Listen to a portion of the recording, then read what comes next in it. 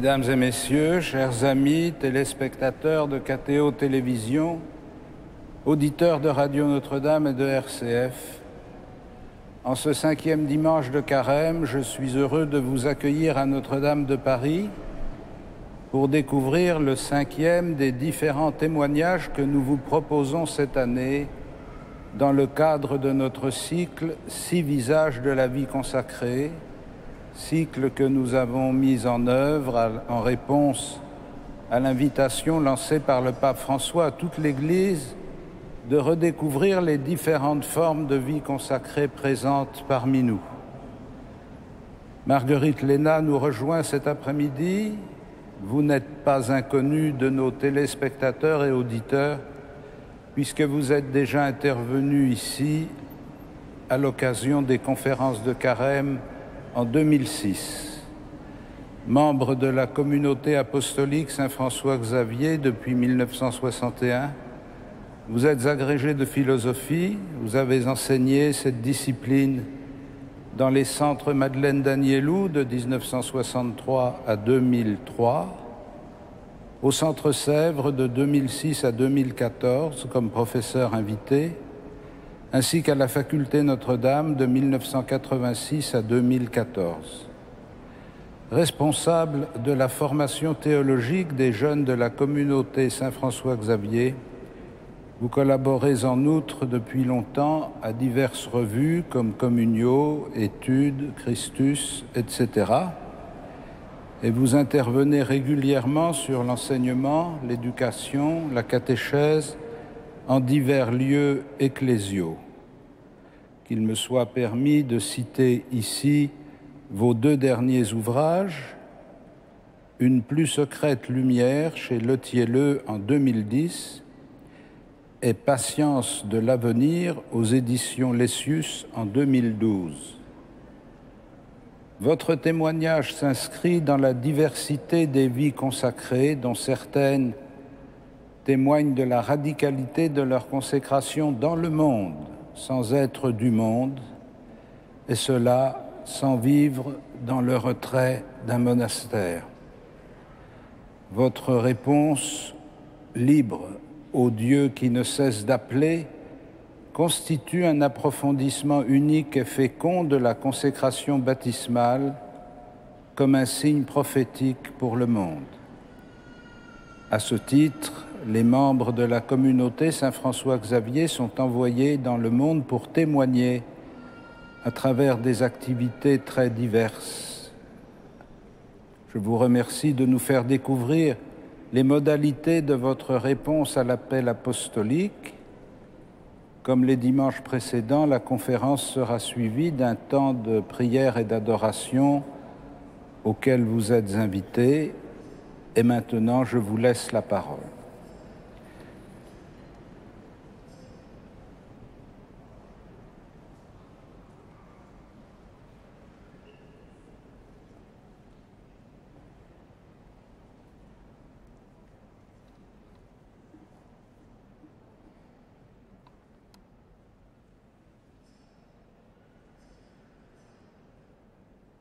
Éminence, frères et sœurs en Jésus-Christ,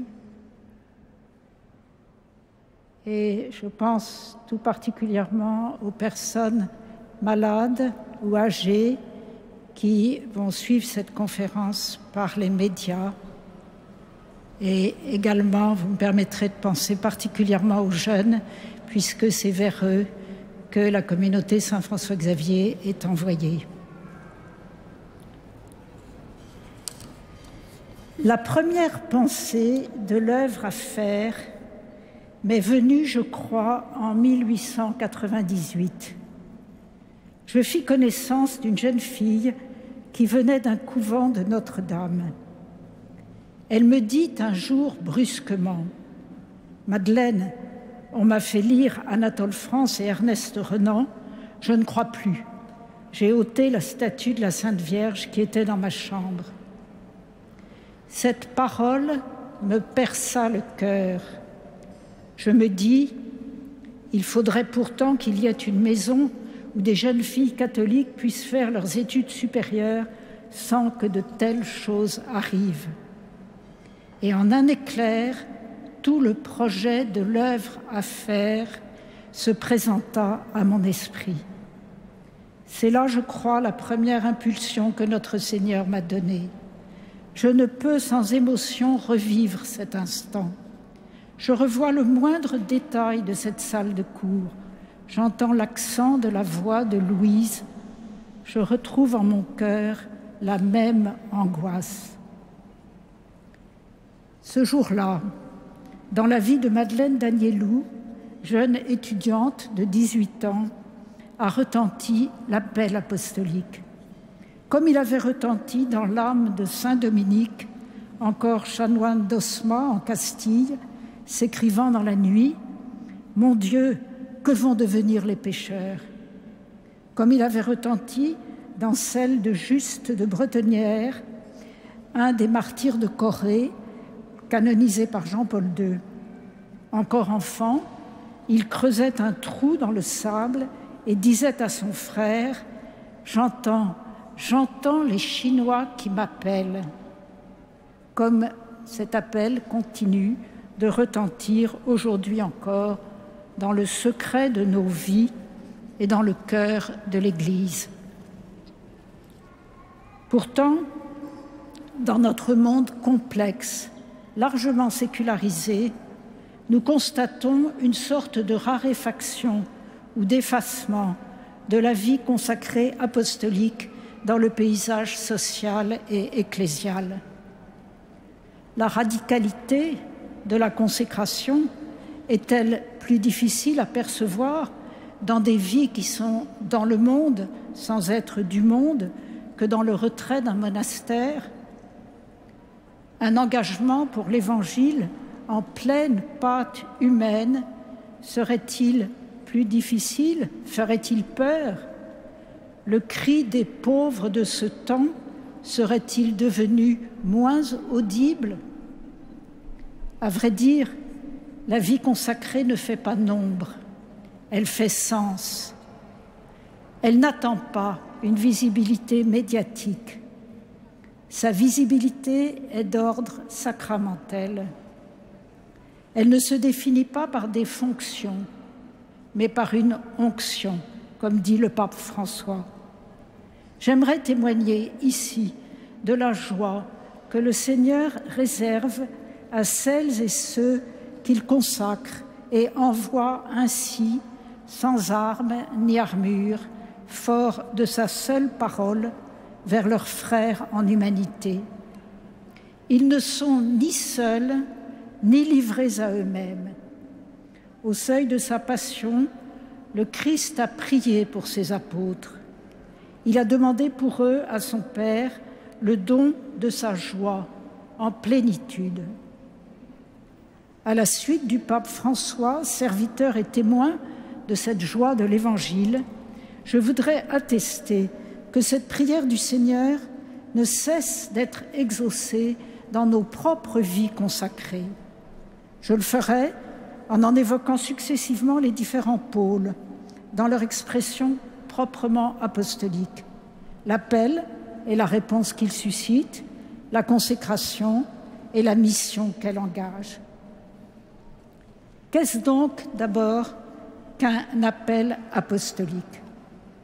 Un homme, une femme, un enfant font l'expérience, soudaine ou lentement mûrie, d'une urgence spirituelle, d'un de ces besoins de l'âme qu'ils ne peuvent se contenter de constater, qu'ils ne peuvent combler avec des choses, des paroles, des activités.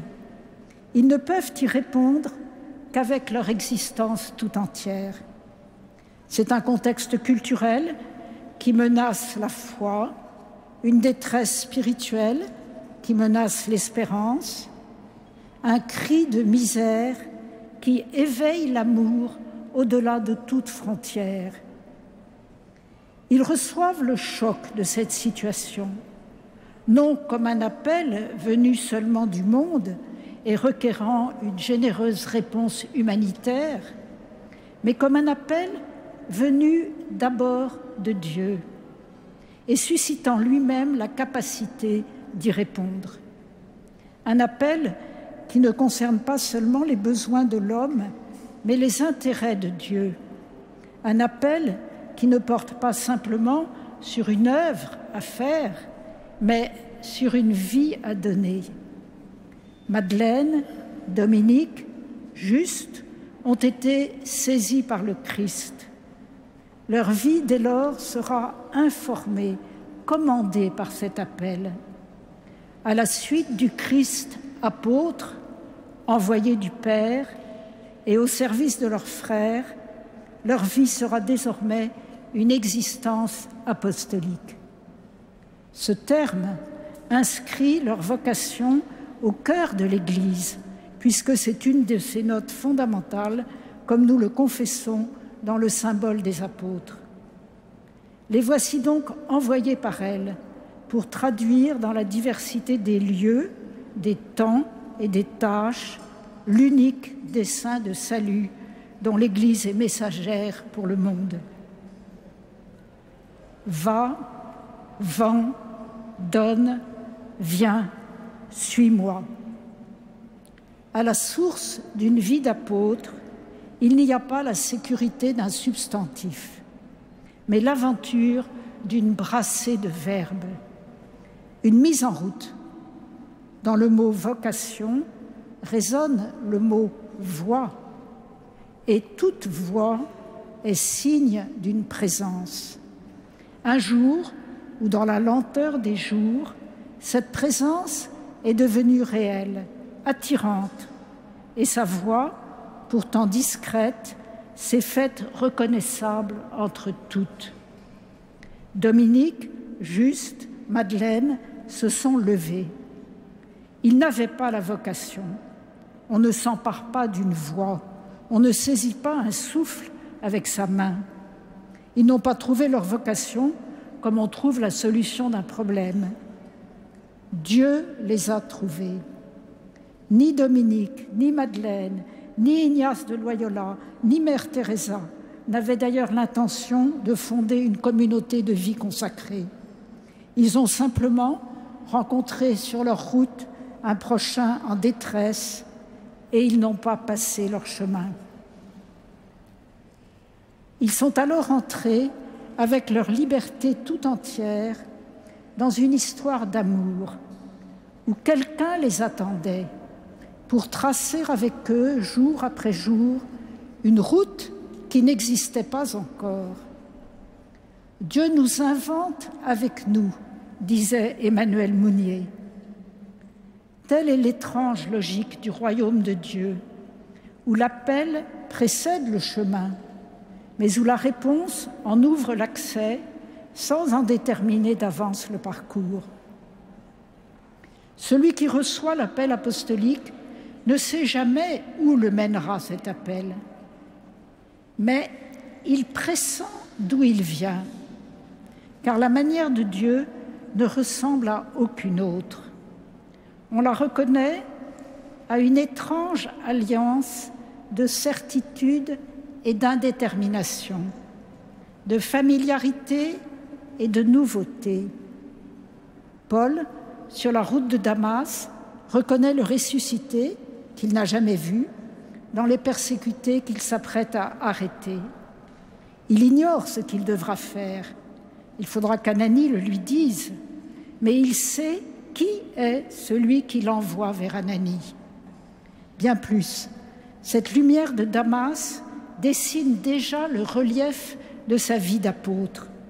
Désormais, ce seront les autres, non seulement les persécutés de Damas, mais aussi bien les Juifs de Thessalonique ou les philosophes d'Athènes, les marchands d'Éphèse ou les esclaves de Corinthe, qui seront pour lui le lieu où rencontrer, où reconnaître, où servir le ressuscité. Aussi se définit-il en tête de ses lettres comme l'appelé apôtre, kletos apostolos. L'appel de Dieu est devenu son identité la plus profonde, une identité tout entière relationnelle. Le voici constitué en sujet convoqué, à la suite et dans la lignée des prophètes d'Israël. Et c'est avec les termes mêmes du prophète Jérémie qu'il évoque sa vocation. Celui qui m'a mis à part depuis le sein de ma mère et m'a appelé par sa grâce à juger bon de révéler en moi son Fils afin que je l'annonce parmi les païens. Peut-être y a-t-il là pour nous déjà un témoignage précieux à entendre, car nous oublions aisément que toutes nos vies humaines, pas seulement celles d'apôtres ou de consacrés, ni même celles de baptisés, reposent sur un appel. Tout homme, du simple fait qu'il est homme, a une vocation qu'il établit en interlocuteur du Dieu vivant et le destine à le voir un jour face à face. Quelle que soit notre appartenance religieuse ou notre ignorance de Dieu, nous sommes, par grâce de création, des sujets convoqués. Adam, où es-tu? Qu'as-tu fait de ton frère? Si je peux et si je dois prendre en charge personnellement ma propre vie, c'est que celui qui m'a créé m'en a fait le don. Je te dis, vis, dit le prophète Ézéchiel. Choisis donc la vie, dit le Deutéronome. Ainsi, l'enfant qui vient au monde reçoit son identité du nom que ses parents lui ont donné, un nom qui désormais lui permettra de s'appeler lui-même par ce nom qu'il a pourtant reçu d'un autre. Il en est de même de notre nom pour Dieu et de notre nom pour toujours. Exister, c'est être en état d'appel et en acte de réponse, soit consciemment, soit obscurément, à travers la simple et si belle fidélité de notre conscience.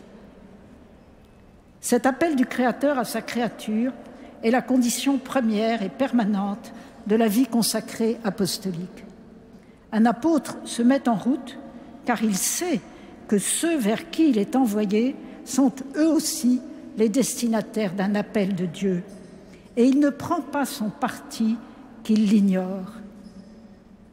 Il ne prend pas davantage son parti que leur visage, fait à l'image et à la ressemblance du Créateur soit méconnu, bafoué, violenté.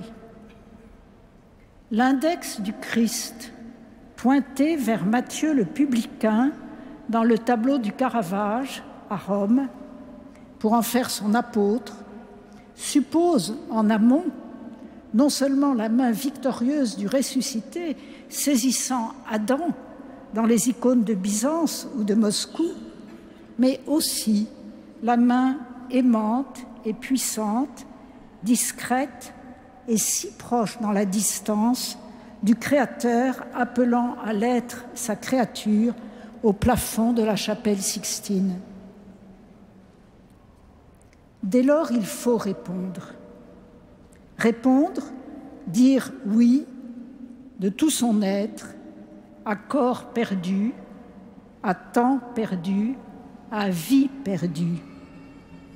Prends, Seigneur, et reçois toute ma liberté. Répondre en entrant dans l'espace sans balise de l'offrande sans réserve et de la confiance sans mesure. Un apôtre met au service de l'Évangile toutes ses ressources, le déploiement intégrale de sa liberté. Le oui qu'il dit au seuil de sa mission va se concrétiser, s'épeler lentement dans la durée des jours, en une multitude de consentements minuscules ou immenses, posés dans la pleine lumière de l'évidence ou dans la nuit de la foi nue. Une expérience neuve de la liberté commence alors, qui vient creuser et déplacer toutes les figures que nous nous en donnions, comme si elles étaient transposées sur un autre ton et devaient être déchiffrées et jouée désormais en clé théologale. Ainsi l'indépendance. Je ne suis plus mon propre maître, puisque me voici lié par l'esprit, dont la conduite et les suggestions sont infiniment plus délicates, mais aussi infiniment plus exigeantes que toute loi extérieure. Mais en consentant à ce que désormais un autre me mènera, je reçois en échange une souveraine indépendance par rapport au conditionnement de l'opinion, aux pesanteurs des habitudes, au prêt à penser d'un temps ou d'un milieu. Pour moi, écrit saint Paul, il m'importe fort peu d'être jugé par vous ou par un tribunal humain. Celui qui me juge, c'est le Seigneur. La touche délicate de l'Esprit Saint transforme aussi cette autre figure de la liberté qu'est la spontanéité. Bien souvent, en effet, la mission reçue dépasse mes goûts et mes attentes, contraint ou contrarie mes désirs, puisqu'elle est commandée par les attentes et les désirs de Dieu. Mais c'est au bénéfice d'une nouvelle spontanéité, comme un accord musical entre le désir le plus profond de l'âme et la motion silencieuse de l'Esprit Saint. De même, la libre capacité d'inscrire de l'inédit dans le monde n'est pas supprimée par la réponse que l'apôtre donne à l'appel reçu. Elle est au contraire exaltée.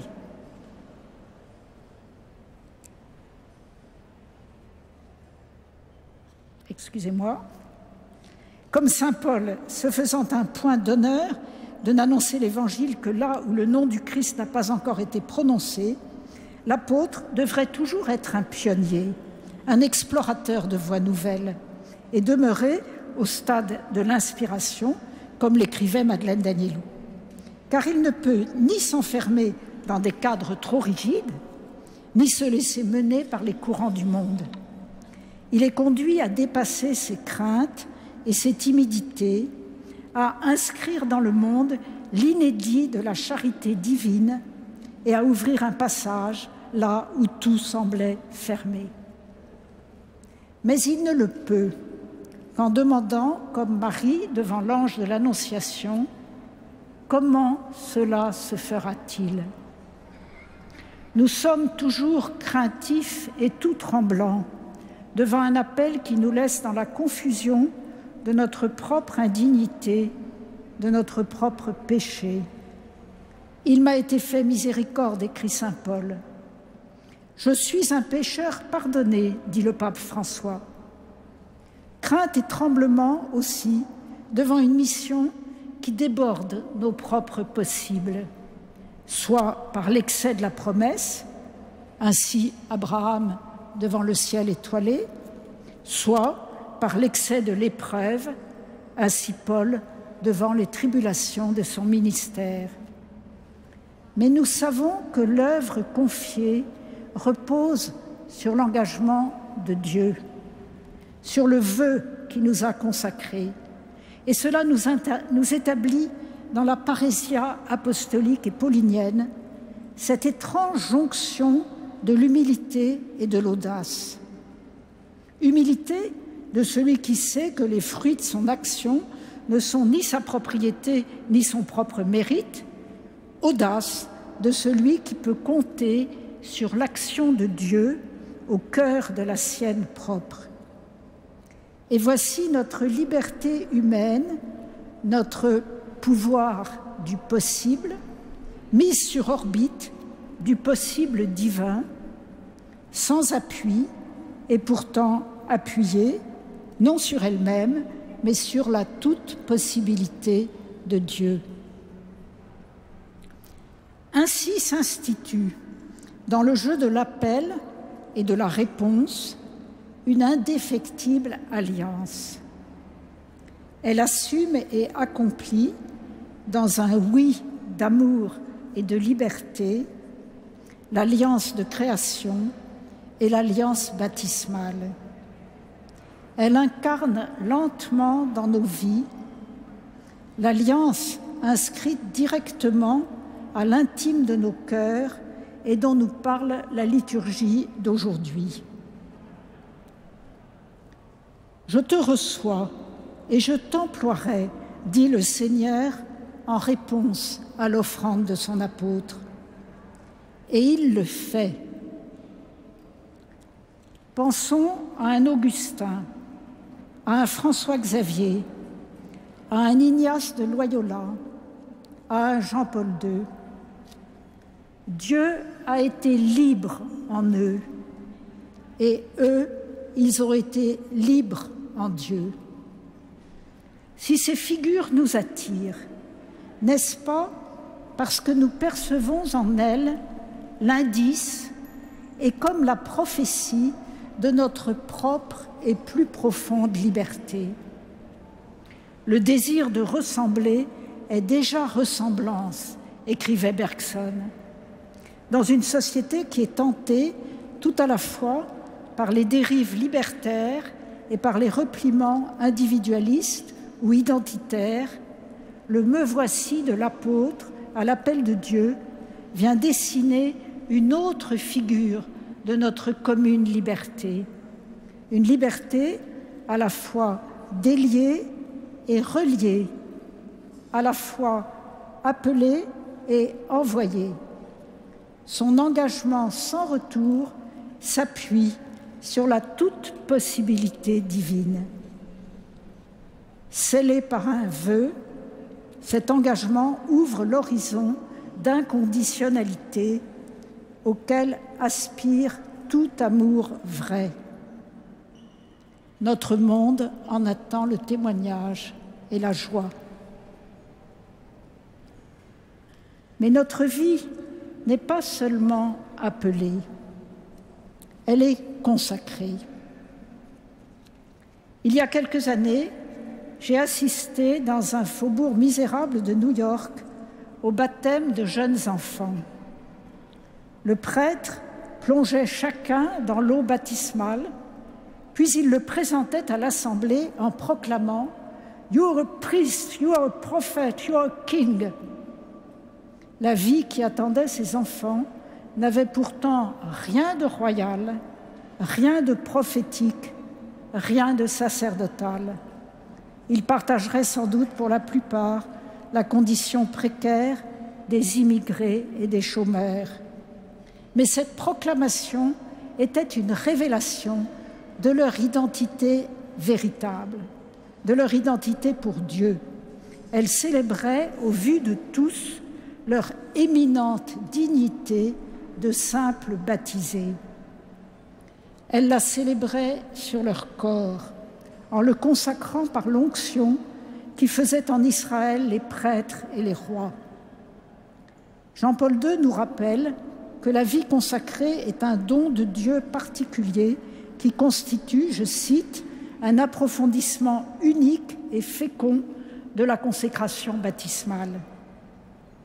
Dans son expression apostolique, elle nous met à part en plein monde, non selon l'ordre païen de la sacralité, mais selon l'ordre chrétien de la sainteté. C'est cela que je voudrais envisager maintenant. L'apôtre ne quitte pas le monde parce qu'il y est envoyé, il doit l'habiter et même plus intensément, plus profondément qu'auparavant. Il se tient souvent au plus vif de ces lignes de fracture, comme le rappelait monseigneur Claverie l'évêque d'Oran, victime du terrorisme. Mais il l'habite autrement, car il l'habite en consacré et pour le consacré. Dans l'adresse qui ouvre sa lettre aux chrétiens de Rome, Saint Paul se définit comme mis à part, aphorismenos, littéralement mis hors horizon, au-delà de l'horizon, pour annoncer l'évangile de Dieu. Cette mise à part constitue le paradoxe de toute vie d'apôtre.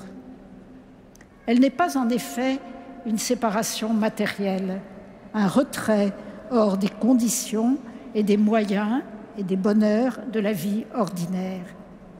Elle est l'engagement de notre propre volonté au service de nos frères, à travers la consécration de nos biens, de notre corps, de nos affections et de nos dons.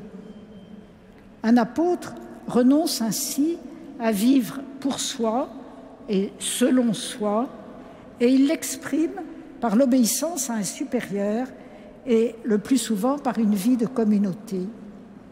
Mais il ne renonce pas à être soi. Le Seigneur a besoin de lui, avec toutes ses capacités humaines, ses qualités, souvent même avec ses défauts, ses compétences, sa personnalité propre. Dans un monde complexe, il aura sans cesse à exercer son pouvoir de discernement et de décision, à oser agir sur d'autres libertés, à mettre au service de l'Évangile toutes ses ressources. C'est pourquoi aussi il dispose sobrement, mais librement, des biens nécessaires à sa mission. Paul n'hésite pas plus à accepter l'aide matérielle des Philippiens qu'un apôtre d'aujourd'hui à prendre l'avion ou à se procurer les livres dont il peut avoir besoin. Mais ces biens ne lui appartiennent pas. Il n'en use pas pour son bénéfice personnel. Il sait vivre dans la gêne et dans l'abondance, être rassasié comme avoir faim, vivre à l'aise comme dans le dénuement, comme écrit Saint Paul. Sa vie est ainsi une épiclèse, c'est-à-dire une consécration par l'Esprit Saint qui est prononcée sur les biens de ce monde. Elle est signe de contradiction, assurément, face aux tentations d'appropriation jalouse ou de jouissance égoïste qui profanent ces biens.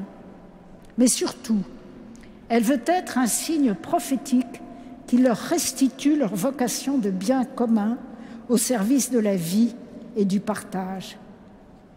L'apôtre s'ouvre aussi à une même épiclèse sur ses puissances d'aimer. Il renonce à fonder une famille, non pas tant pour être libre en vue de la mission que pour laisser se poser le sceau de l'amour de Dieu sur son propre corps, l'offrant à cet amour pour qu'il le consacre. Tu n'as voulu ni sacrifice ni oblation, mais tu m'as façonné un corps. Alors j'ai dit, me voici, je viens pour faire, ô Dieu, ta volonté.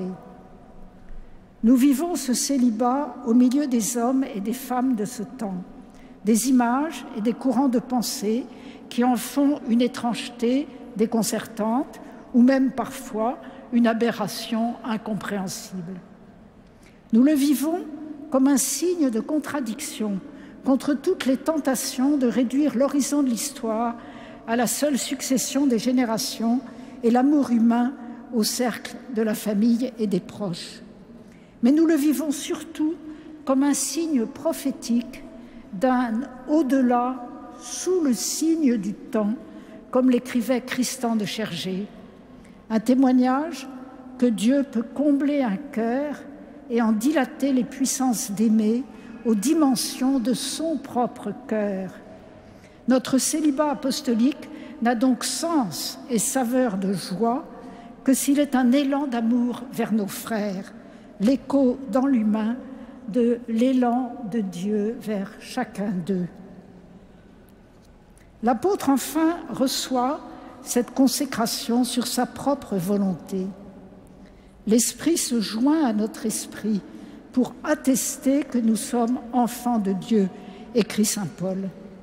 Cette intime jonction fait de la vie de l'esprit intelligence, mémoire, volonté, affectivité, le lieu mystique de l'obéissance et de l'adoration filiale. Mais elle ne nous replie pas sur nous-mêmes dans une piété intimiste. Il s'agit plutôt, selon la belle expression du pape François, d'une intimité itinérante. Car l'onction de l'Esprit Saint nous conduit vers le monde, comme Paul, recevant l'appel à franchir la Méditerranée, passe en Macédoine, viens à notre secours. Toute vie d'apôtre est amené à franchir des frontières, celle de la peur ou celle de l'ambition, celle de son milieu, parfois de sa langue ou de sa terre d'origine. L'Esprit Saint, que Pierre Favre appelait l'exileur, nous consacre non seulement pour l'œuvre, mais par l'œuvre qu'il nous confie et qui va devenir le lieu privilégié de notre rencontre et de notre union à Dieu. Israël rencontrait son Dieu dans le temple qui consacrait l'espace, dans le sabbat qui consacrait le temps. Pour un apôtre, les espaces de sa mission, un hôpital, une école, un laboratoire, une rue, peuvent devenir le temple de la présence de Dieu. Et le temps qu'il passe à servir ses frères, si occupé soit-il, peut devenir le temps de la rencontre de Dieu. L'action fidèle, écrivait Boris Blondel, est l'arche d'alliance où demeurent les confidences de Dieu, le tabernacle où il perpétue sa présence et ses enseignements. Et le père Léonce de Grand Maison, pour sa part, parlait du cloître de l'action.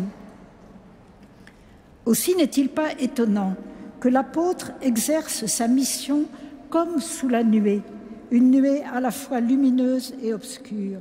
Lumineuse parce qu'elle devient le milieu mystique de son union à Dieu, pourvu qu'il s'y offre dans une simple, humble et ardente fidélité au maître intérieur, et qu'il y demeure dans le recueillement, le désintéressement et l'amour, entretenu par la prière et l'écoute de la parole de Dieu, mais aussi nuée obscure, parce qu'il s'y heurte souvent aux résistances du monde et aux siennes propres, et parce qu'il n'y aperçoit son Seigneur que de dos, aux fruits discrets de son passage. Il n'a jamais la maîtrise d'une œuvre qui le constitue ouvrier avec Dieu, intendant et collaborateur d'un dessein d'amour qui le dépasse. Ainsi en était-il d'Ignace de Loyola. Je cite, Ignace suivait l'esprit, il ne le précédait pas, et de cette manière, il était conduit avec douceur, il ne savait où. Peu à peu, le chemin s'ouvrait devant lui, et il le suivait, sagement ignorant, son cœur livré avec simplicité au Christ. Hein, c'est un témoignage du Père Jérôme Nadal. On comprend alors que ce soit dans l'Eucharistie que notre vie d'apôtre, comme celle de tout baptisé, trouve jour après jour le pain de sa route. Le Christ eucharistique nous rejoint dans l'ici et le maintenant de notre mission et nous permet de changer en offrande cet ici et ce maintenant comme ces deux piécettes qu'une pauvre veuve de Jérusalem glissait dans le trésor du temple.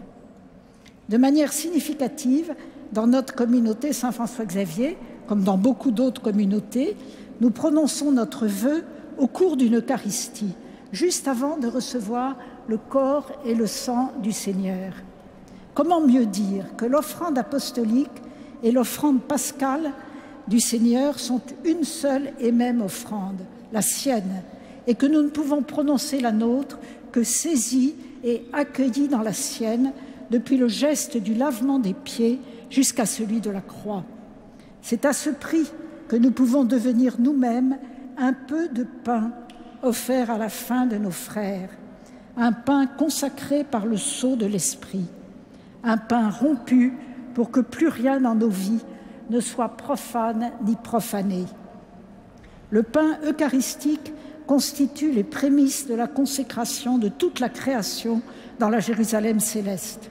Dès à présent, il engendre le corps du Christ par les énergies de l'Esprit Saint, guérissant ce qui est blessé, irriguant ce qui est aride, redressant ce qui est faussé.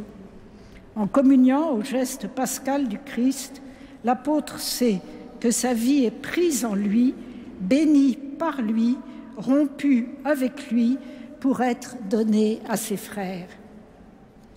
Elle le sera sous mille formes diverses, incarnant et universalisant dans l'histoire humaine, en tout peuple, nation et culture, les actes de Jésus, guérissant les malades, enseignant les foules, relevant la dignité des exclus et faisant d'une femme, Marie de Magdala, l'apôtre des apôtres.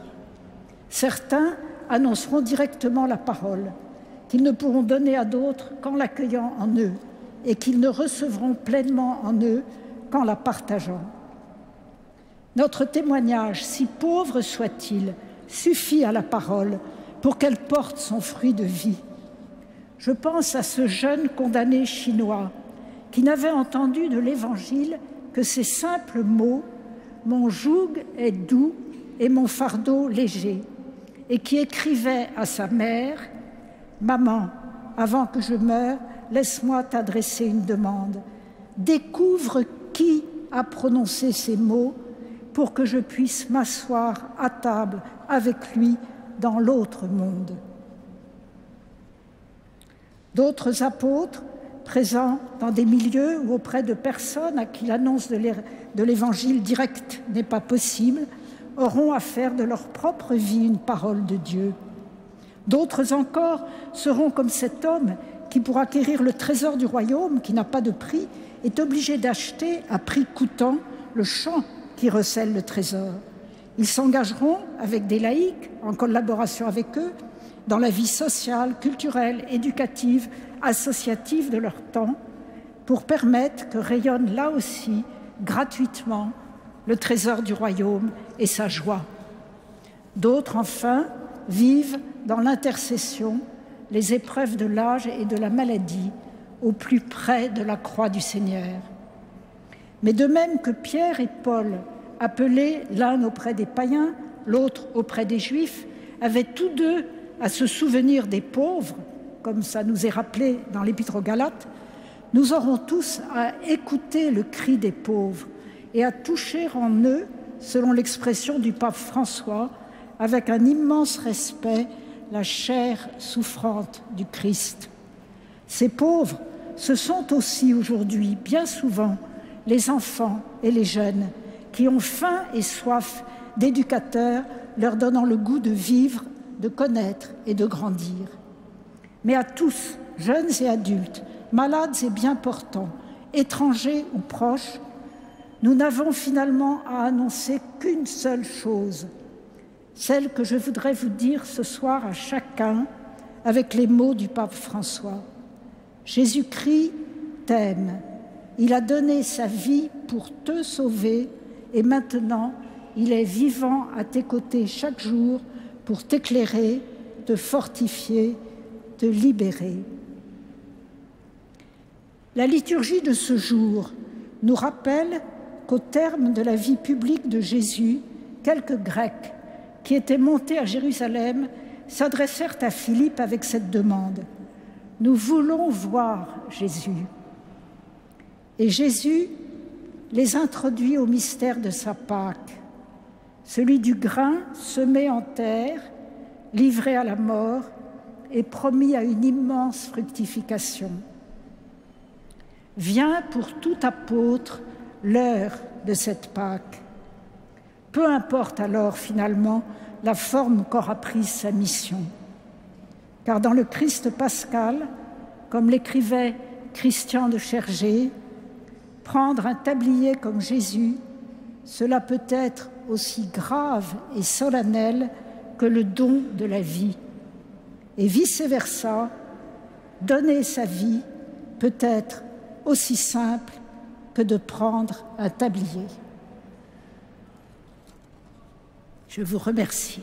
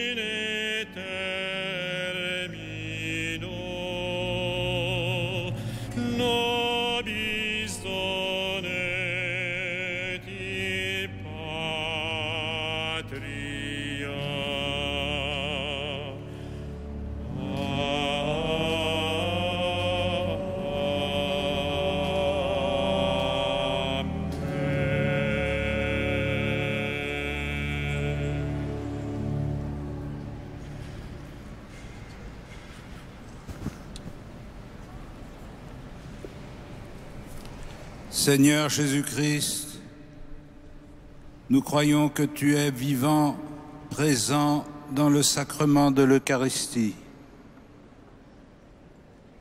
Nous te vénérons et nous t'adorons. Nous levons les yeux vers toi,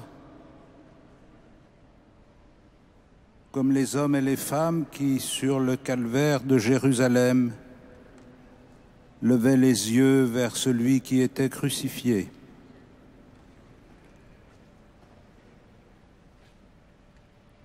le regard que tu portes sur la multitude des hommes est un regard d'amour.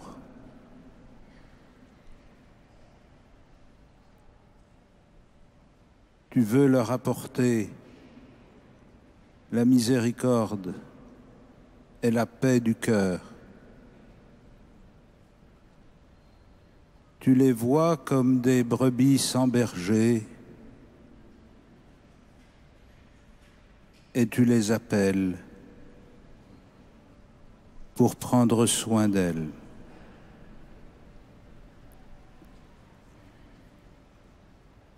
Ce soir, nous voulons nous mettre sous ton regard, dans le secret de nos cœurs, laisser paraître devant toi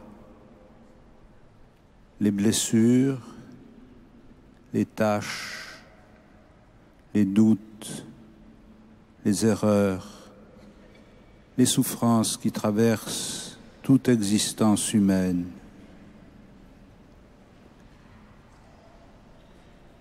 Nous voulons laisser ton regard d'amour rejoindre la misère de nos cœurs.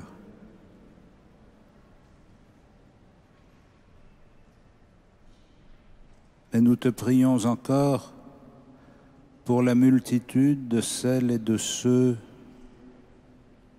que nous représentons devant toi.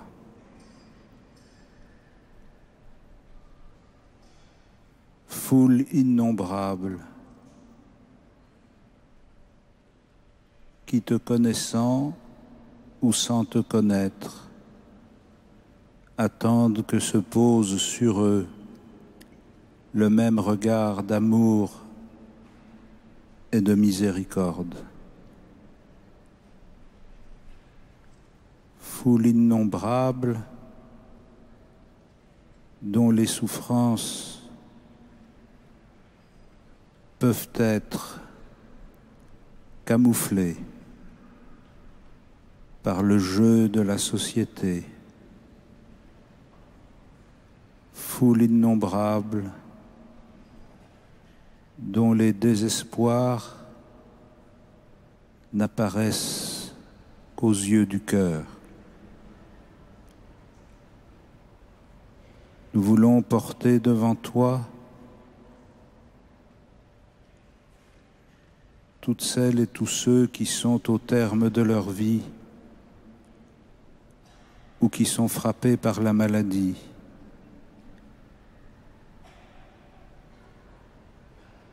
Regardez comme indignes parce qu'ils mettent en échec notre théorie du succès perpétuel.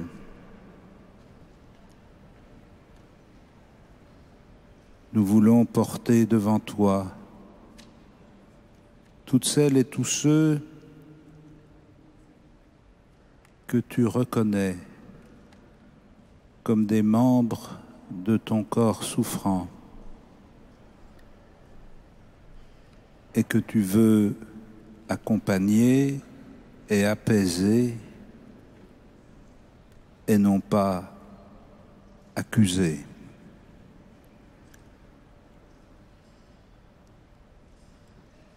Nous sommes devant toi avec tous ceux et toutes celles qui désespèrent de leur avenir, qui ont renoncé ou qui ont été découragés de conduire leur existence et qui se laissent aller au fil de l'eau. Nous sommes devant toi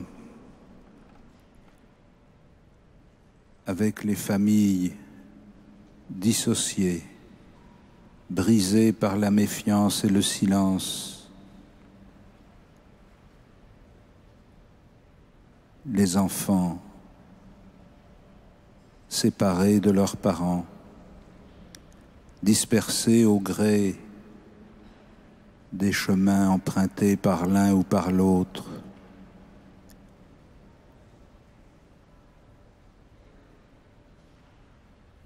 Nous sommes devant toi avec celles et ceux qui assument leurs responsabilités de parents et qui vivent avec l'inquiétude de ce que va devenir leur enfant. Nous sommes devant toi avec les jeunes qui cherchent et qui espèrent.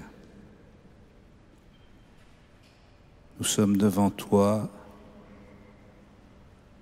avec ceux qui sont privés des moyens de la connaissance. Nous sommes devant toi avec ceux qui attendent des éducateurs. Sur tous ceux-là, tu fais porter ton regard d'amour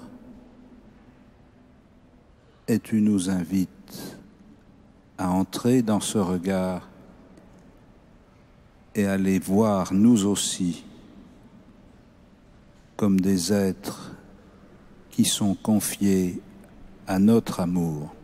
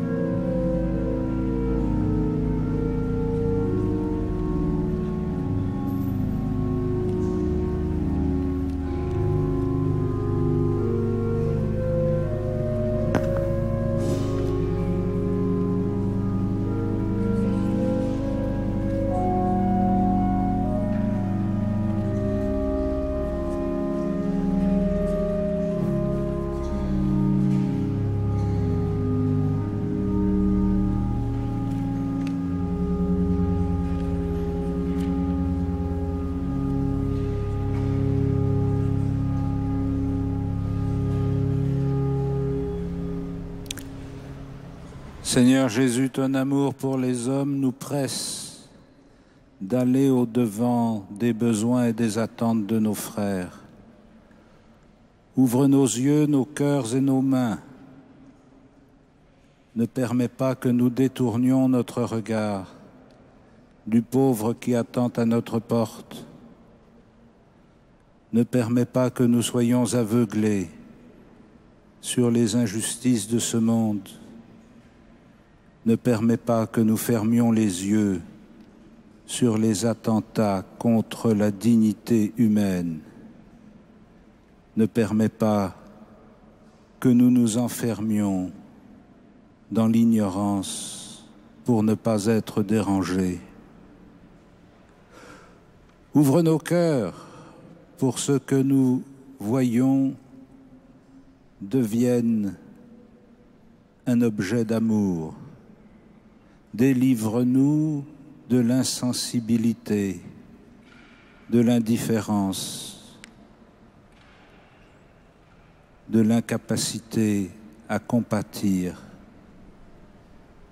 Mets en nous un cœur de chair pour que nous soyons touchés par ce que nous avons vu,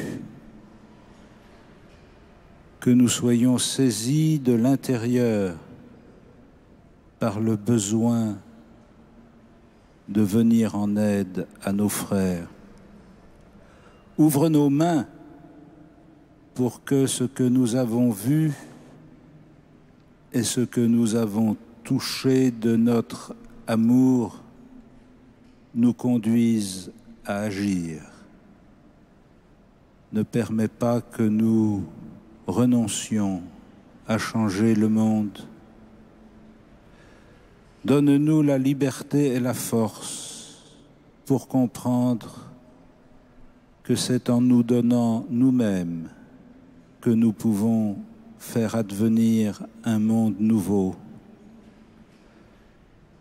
Donne-nous de suivre les chemins de celles et de ceux qui te sont consacrés dans la charité, pour que leur exemple éclaire et fortifie notre propre vie. Donne-nous la joie de voir briller dans les yeux de nos frères la reconnaissance de ta présence.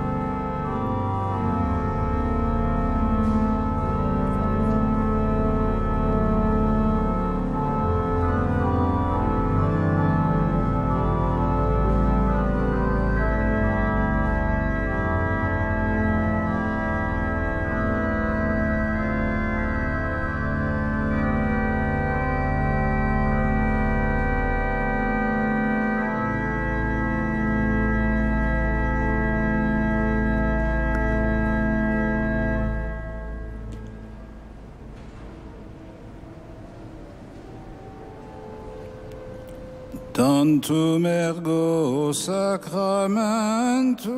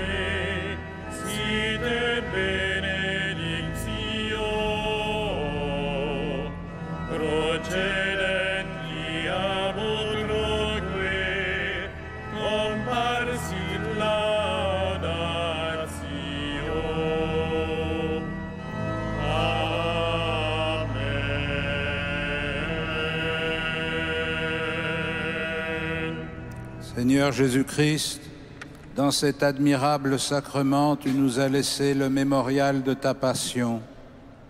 Donne-nous de vénérer d'un si grand amour le mystère de ton corps et de ton sang, que nous puissions recueillir sans cesse le fruit de ta rédemption, toi qui vis et règnes avec le Père et l'Esprit Saint pour les siècles des siècles.